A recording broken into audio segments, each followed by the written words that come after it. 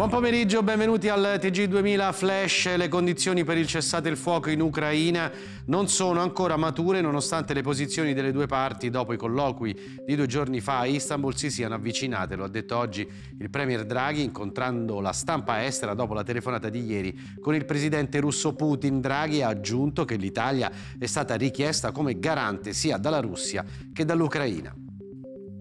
Nella telefonata tra Draghi e Putin si è parlato anche della necessità di garantire corridoi umanitari soprattutto per evacuare le decine di migliaia di persone intrappolate ancora a Mariupol, città praticamente rasa al suolo dopo un mese di assedio da parte dell'esercito russo. Per il momento sembra reggere la tregua, almeno 17 pullman carichi di gente sono riusciti a lasciare la città in sicurezza. Il Senato conferma la fiducia al governo sul decreto Ucraina con 214 voti favorevoli, 35 contrari e nessuno astenuto. In aula durante la discussione sono spuntati cartelli con la scritta no soldi per armi. Eh, con l'approvazione del decreto verrà certificato anche l'ordine del giorno approvato alla Camera che dà il via appunto all'aumento delle spese militari fino al 2% del PIL, ma in un arco temporale lungo anni.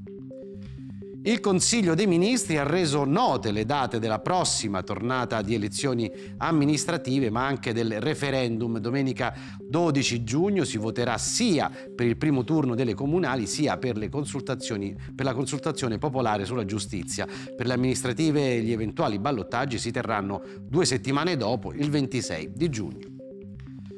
Oggi, dopo due anni, l'Italia dice addio allo stato di emergenza e da domani cambieranno ancora le regole anti-Covid. Un graduale allentamento delle restrizioni a partire dal Green Pass che non sarà più necessario per andare dal parrucchiere, in banca, negli uffici pubblici o dal tabaccaio. Stop al certificato verde anche eh, per salire sui mezzi pubblici, per entrare nei ristoranti all'aperto, nei musei, nei centri termali e culturali. Resta invece il Green Pass base per accedere ai luoghi di lavoro almeno fino al termine di aprile quando verrà definitivamente congedato. Anche in Italia, come in altri paesi europei, continua la fiammata dei prezzi, complici i rincari dell'energia ora alimentati anche dalla guerra in Ucraina. A marzo, comunica l'Istat, l'inflazione ha accelerato per il nono mese consecutivo raggiungendo un livello del 6,7% che non si registrava dal luglio del 1991 a spingere in avanti l'inflazione, appunto l'aumento dei costi dell'offerta energetica, ma non solo, a pesare ci sono anche i prezzi cresciuti di alimentari e quelli dei prodotti la cura della casa e della persona.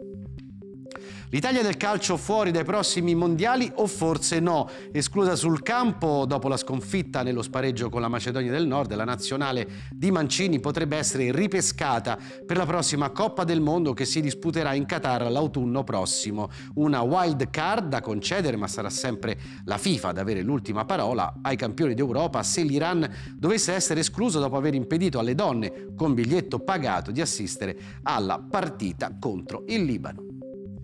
E con questo è tutto, vi ricordo il prossimo appuntamento con l'informazione, come sempre alle 18.30, grazie per averci seguito, arrivederci.